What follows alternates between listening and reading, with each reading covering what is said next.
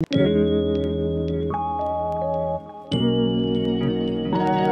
are going to be doing a foundation wear test today. Yesterday, we went to Nashville to visit my dad for Father's Day, and while we were there, we stopped by Walmart because we had to pick up a few things to take to him. And the Walmart store that we went to, they had an entire aisle that was all e.l.f. cosmetics. Here in Memphis, our stores do carry e.l.f., but usually it's a smaller area and like the newer products don't really ever come to our stores until like later. They usually start at Target if they, you know, they come at all. This store had almost every single newer launch, which I was really excited about. I've already tr- uh, purchased and tried the camo blushes before, and they have like the bronzing drops and stuff like that, but I didn't pick any of those products up because I, I knew they were not going to be suitable for my greasy face. But I did pick up the e.l.f. Soft Glam Satin Foundation. This is one of the things I've been wanting to try this for a while. Rather, I was going to order it from the e.l.f. website, but when I saw that they had it at that Walmart, I went on ahead and I snatched it up. It has a medium buildable, long lasting, finished, long lasting coverage, 1% hydrating hibiscus complex. Does not claim to be to have a satin matte finish or a mattifying finish. Doesn't have like some weird 16 hour, you know, wear time claim or anything like that. So I'm not expecting mattifying or you know, oil control or anything like that with this formula. Like I mentioned, I do have oily skin. I also have a large pores, so I will be wearing primers. That's just what I do. I want to give this foundation the, you know, best chance that I can give it. And I've already done my primers. I've done the e.l.f. Liquid Poreless Putty Primer followed by the Moira Complete Facial Mattifying Primer. I've really been enjoying this combination. I will also be setting this down with a setting powder and using a setting spray. That is how I would normally wear a foundation. I, like I said, have oily skin. My face gets greasy throughout the day. I have to touch up. Even with mattifying foundations, I do touch up. Now, if this claimed to be a mattifying foundation with a long wearing mattifying finish, and I probably wouldn't use a mattifying primer, and I probably wouldn't set it down or anything like that because that would be a claim I would be testing. That's not a claim that I'm testing with this one. I just want to see how it wears on my oily skin. If by the end of the day it's still looking pretty good, it has not broken all up, it doesn't look all cakey and just, you know, cruddy and just gross, then, you know, that's good. That's about all I can really expect from a foundation with my greasy face. And like I said, I do do primers. I have enlarged pores. I have, you know, scarring from previous acne. If I do not use a primer, this foundation will not look good on my skin and it won't be the fault of the foundation. It'll just be because I have a lot of texture on my skin. I have to put down a priming base. So just wanted to put that out before we started. I will be touching up once throughout the day, which I don't normally do for a wear test, but later on this afternoon, it is right now 10:15, about two o'clock. We will be leaving to go pick up my stepfather, and so I'm gonna be taking my husband and my stepfather out for a late Father's Day lunch. So, because of the fact that, you know, we are going to be leaving the house and going someplace and going in public, I will be touching up a little bit just because, you know, I'm not going to go out in public with like a greasy face. I will show you guys what the foundation looks like, how it's wearing at that point before I set it down. And I'll probably show you what it looks like, or not set it down, touch it up. And I'll probably show you again what it looks like touched up just to kind of see how the foundation, you know, looks after being touched up. I'm, I'm going to try to do one more one more check in after lunch and then a final check in this afternoon. It just kind of depends on how the day goes since we are going to be a little bit busy this afternoon. But with all that being said, all that babbling, let's go ahead and jump into applying this foundation. The shade that I got is number 30, medium warm.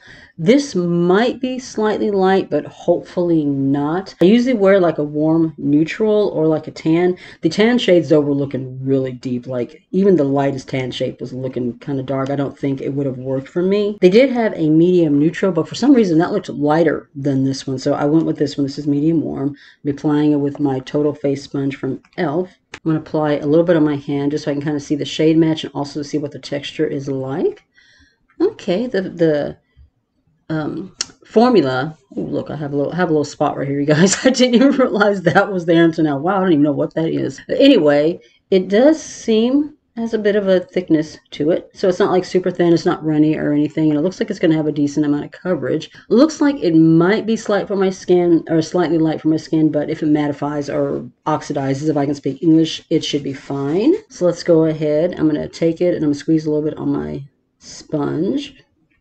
Like I said, this might be a little bit light, but yeah, the shades that were deeper than this were just looking way too deep. All right, slightly light, but not bad. it actually blends in pretty well. And like once I put a little bit of bronzer on, this is perfect. I'm glad I went with this shade. Any lighter would have been too light, any deeper would have been too deep. We'll just have to see what it looks like, you know, if it does oxidize. So far, the finish is looking satin. It's definitely not matte. It's not matte. It's not a satin matte. It's very pretty. It's extremely skin-like. Can you see that? And this shade definitely blends in perfectly. Like I mentioned, I'm glad that I went with this one. I put just a little bit more on my sponge just to kind of get around the forehead. The coverage is actually really good too. I had a little bit of redness going on.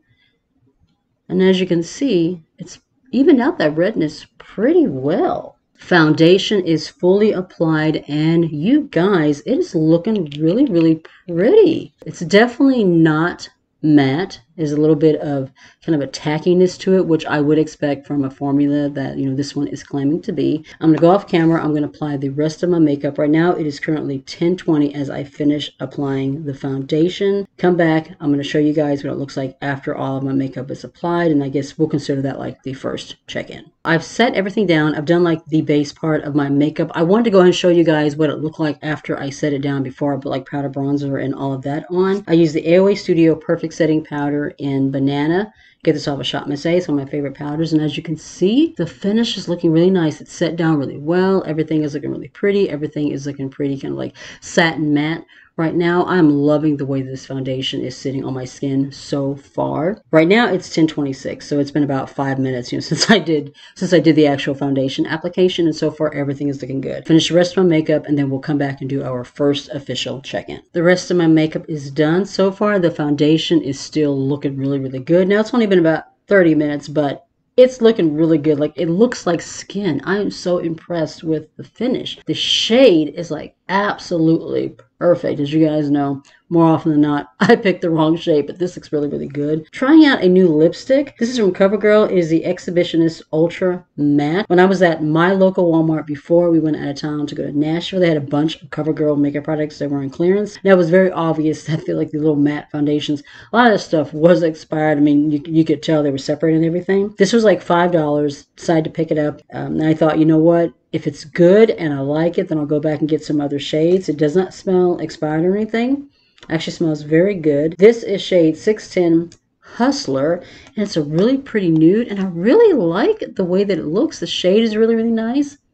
I think it's a very pretty, just soft, kind of a peach nude, a little bit of pink to it. I think it looks really, really pretty with this eye look. All right, so what I'm gonna do now, I am going to go do some laundry. I'm gonna do a little bit of cleaning. I do have one more video that I'm going to film today, and by then it should be about time for us to get ready to head out to take my husband and my stepfather out for their Father's Day late lunch. I'll show you what it looks like before I touch up. I may not have to touch up at all. We'll just have to see. It's right now it is 1045 we'll be heading out the door in just about a couple of hours, so I may not even need to touch up, but we'll see when we, when we get there. I will definitely check in before we head out and just kind of show you guys what it's looking like then. But right now, it is setting. It has set really well over my primers. It looks really pretty underneath the setting powder.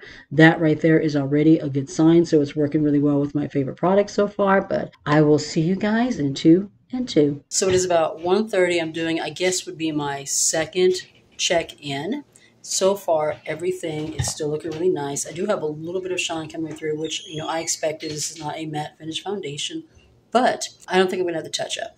I was thinking that maybe i might have to touch up a little bit before we head out to do this late lunch but everything is looking really good and i don't think i'm gonna have to touch up. So far everything is looking really really good. I'll check back in a couple of hours or so. Hopefully, I can do one more check in before the final check in. So, see you in a bit. We are doing our third check in of the day. It has been six hours. I just got back from having lunch with my husband and my stepfather. It is very, very hot outside. I have been out in the sun, so I have put this foundation kind of to the test.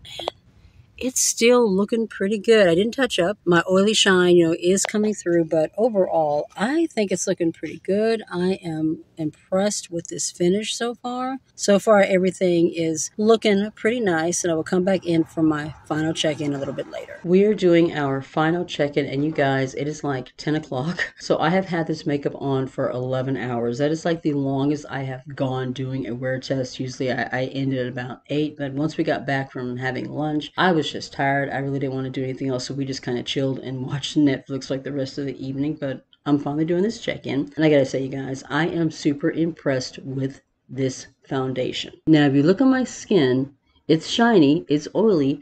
The, you know, my natural oils have come through. My face, you know, is oily, but the foundation itself still looks so good. Like it's not broken up. It still looks very smooth. It's not cakey. It doesn't look, you know, weird or anything on my skin. It's not sitting weird. It looks really, really good. On a normal day, I would just touch up throughout the day and just, just kind of like pat down some of the shine. But overall, you guys, I am super impressed. I am really, really loving this foundation. Even though this is not a matte foundation, it does come off kind of like a satin matte finish and wear throughout the day. And this was definitely a successful wear test. And I am definitely happy with the results. If you enjoyed the video, if you found it helpful, please give the video a thumbs up. If you're new to the channel, you are not already subscribed, I would love it if you consider joining my little family, hitting subscribe. Make sure you tap the bell so you don't miss a thing, and you can also follow me on my other socials. I'm on TikTok, Instagram, and Facebook. Be safe, take care of yourself, and I'll see you in the next one.